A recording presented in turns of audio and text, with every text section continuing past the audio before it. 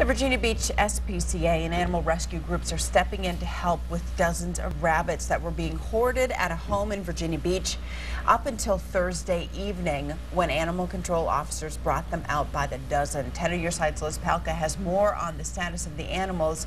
Liz, are all of them able to be adopted out? Yes, they're all up for adoption right now, and there are nearly 100 that need to find homes, Carrie. The Virginia Beach Care and Adoption Center has most of them. The SPCA and rescue groups will take more in today.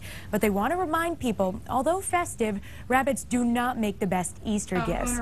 Jessica Hughes says you need to be prepared for what you're getting into, just like any other pet. Something to know about these rabbits, they're not as socialized as the ones you might get from a pet store or breeder. They're going to take special handling and patience. At the Easter season, we will see an influx of bunnies that were given as uh, Easter gifts that uh, people took on without knowing what kind of care they require. Hughes says a lot of these rabbits are babies, so you need to be prepared for a commitment of eight years or more.